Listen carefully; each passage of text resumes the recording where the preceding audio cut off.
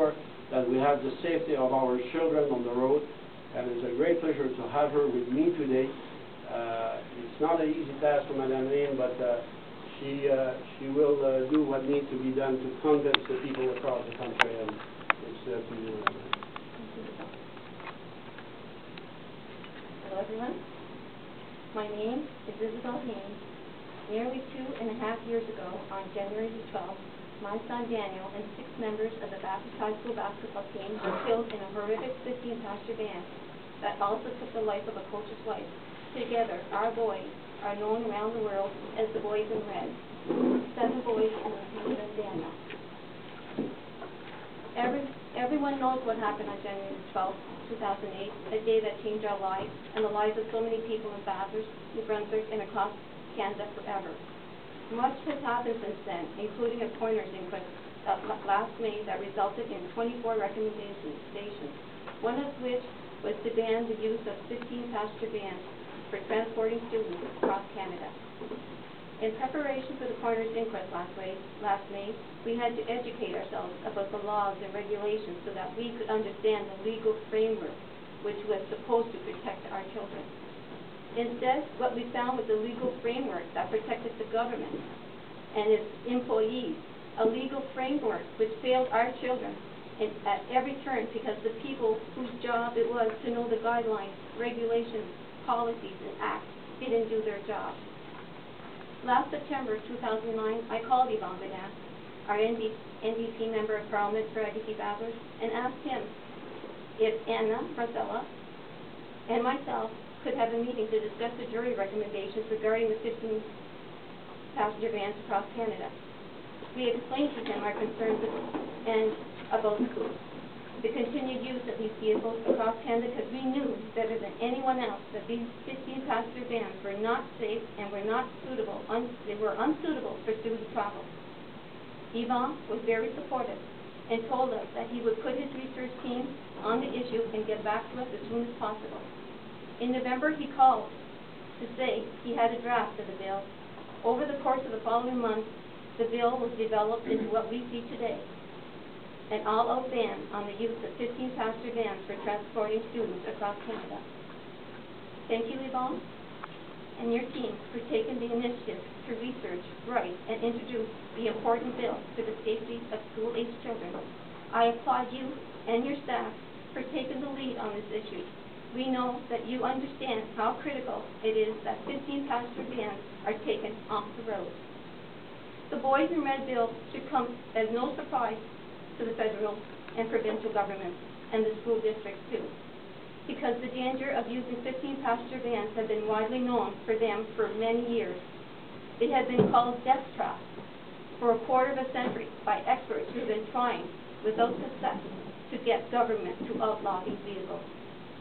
As re recently as 2006, the Canadian Standards Association proposed a voluntarily voluntary new standard that would see 15 passenger vans replaced by 21 passenger multi-function activity vehicles.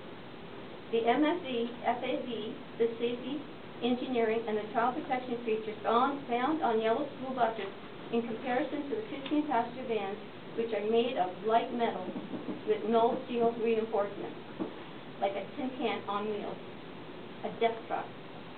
In July 2007, the CSA sent a letter to the Federal Minister of Transport, Lawrence Cannon, informing him that the 15-passenger van should be replaced by 21-passenger MFAVs. Nothing was done. In 2008, the CSA, seven months after our sons were killed, and two years after they released the first proposal in 2006, the CSA made another announcement about the new voluntary, voluntary standard B270 multifunction activity vehicle to replace the 15-passenger van. And here we are again, two years later, in May 2010, still trying to ban these 15 passenger vans from student transportation because the federal government has not acted on the CSA recommendation. I have no doubt, whatever, whatsoever, if my son, his friends, and Stella Gurr, her son Michael Gurr, who is 26 years old, and he died in a 15 passenger van on September 26, 2008. all traveling in a 21-passenger multifunction activity vehicle, the kind of vehicle that the CSA was proposing as a new standard for the student travel as early as 2006, that they would be alive today. There are no public awareness, no campaign to raise the, the alarm about the dangers of these death traps. Even I didn't know about them. It is too late for my son, but it's not too late for all the other boys and girls out there who are being transported to extracurricular activities in 15-passenger vans. These vans must be banned across Canada. It must be mandatory. It must be law. This is the only way our children will be protected. I believe the federal government must make, must take action by imposing rules on who can import the vans and who can they sell, be sold to. The Bathurst tragedy proves that you cannot trust the people in authority to do what is right for the safety of the children. We need this bill to be passed with the full support of all parties. It is no longer acceptable for the federal and provincial governments and school districts to pass the buck and ignore expert opinions about 15 passenger vans which says they are death traps that should not be used to transport children. I hope they listen and do what's right to keep children safe because our children can't speak for themselves. We are the adults whom children depend on to make the right decisions about their safety. You, me, Prime Minister, the ministers of transport, John Baird, all the ministers of parliament, every parent of a child in school, every district superintendent, every premier, of, in every province.